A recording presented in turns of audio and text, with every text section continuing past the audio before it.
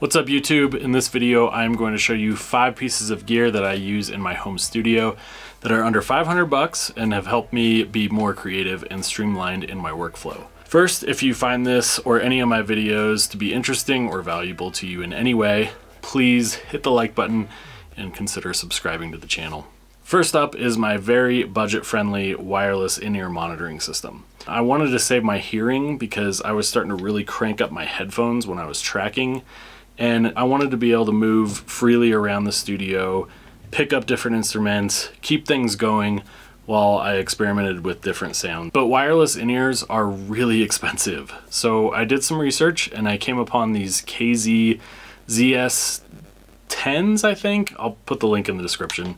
And honestly, I gotta say, they aren't bad for 50 bucks. They sit in my ear just fine and they have a detachable C-pin cable so you can upgrade your cable if you want. They do a really good job of keeping the outside noise level really low so I can monitor myself at a pretty low volume and that saves my hearing. Now for the wireless transmitter receiver system, I ended up going with this Galaxy Audio AnySpot AS950T. You know, it's 230 bucks. The sound quality is not totally amazing.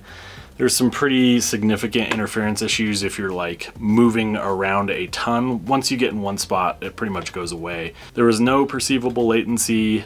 I can track drums. I can get up after that, grab a tambo or some auxiliary percussion, grab the bass, grab the guitar, and just like move around the studio with the in-ears in and I can track everything I want. Eventually I might upgrade to a higher quality system, but for now I'm liking this setup. Next up are the Lewitt 440 large diaphragm condenser microphones. I've got two of them and I use them as my drum overheads. For a while I was on this never-ending search for drum overheads that I liked. Every pencil condenser that I tried sounded way too harsh. I even got these $700 Shure KSM 137s and I just wasn't super impressed with them. So I got the Lewitts and I gotta say they're awesome. There's really no harshness. I barely have to EQ them and they just have a nice full sound where, you know, the top end is is pretty smooth. And for 240 bucks a piece, I gotta say I'm really pleased with them. Next up, we've got the DSM Humboldt Simplifier. If you've seen any of my other videos, you've probably seen me talk about this thing a little bit. Um, basically, it's an amp sim. I needed an amp sim because I play guitar at night when my kids are asleep and you know I really wanted something that was just simple just a few amp and cab sims and I could use the guitar pedals I already had to dial in my tone and the simplifier does just that but what I really like about it is the flexibility it has a stereo XLR output so you can do two different mic positions on two different cabs and run those in stereo. You can sum to mono. It has a through output. It's got an FX Send with a stereo return, plus an auxiliary end, and a headphone out jack. The controls are really similar to a typical amp with volume gain and a three band EQ. And it's got three options for each cab and a tube selector. There's no menu diving, there's no spending hours flipping through presets, it just works. How they do all this with an all analog signal path, I have no idea, but for 300 bucks, I don't think I'm gonna find an amp sim that has as much flexibility and as pedal friendly as the Simplifier is.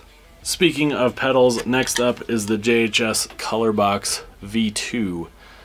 So I'm using this pedal in sort of a different way. It's actually not with my guitar at all. I'm using it as an outboard EQ and saturation device. The pedal takes both XLR and unbalanced inputs and it's got an XLR out so I can use this on virtually any track in my productions. I use it for EQ a lot and sometimes I use it for subtle, not so subtle saturation. And for 400 bucks, I feel like this adds some really nice color to my tracks and when I want it for the EQ section alone, it makes a huge difference. Um, my only complaint is that it's not stereo, so if JHS, you guys make this thing in stereo, I will buy that instantly. Lastly, we have the Art Pro VLA2 compressor. So I was looking at external hardware compressors for a long time and I almost spent 2000 bucks on two distressor units But I started looking at this thing more and more, reading reviews, looking at the YouTube reviews and things like that, and honestly, it's pretty good. I haven't been disappointed with it at all. I think my favorite thing about it is that it can be a stereo unit, or you can run dual mono channels, and you can compress two different signals at the same time and have two different parameters for each one of those signals. So it's really flexible. It certainly has a sound. I don't really know how to describe it, but it's almost like 90s vintage. I mean, I guess it kind of depends on how you use it, but it's got this weird grit to it that um, sort of bites and I don't know, it's like mid forward. It is a tube compressor, so even when you don't use the compressor at all and you just run everything through the unit, it definitely has an interesting sound to it. One thing that I also really like about it is just that it's a physical unit, right? So it's just nice to have an actual hardware unit to physically interact with. So I don't know what it is, but something about moving actual knobs on an actual piece of equipment really kind of makes you, I guess, listen more. And it's helped me really understand more what compression does. It's 350 bucks. So if you're looking for an entry thing to get into compression with and you're tired of using plugins, I would say that this unit is well worth the price. So that's the five pieces of gear under 500 bucks that I use in my home studio to make myself more efficient and more creative. Um, I hope you like this and I will see you in the next one.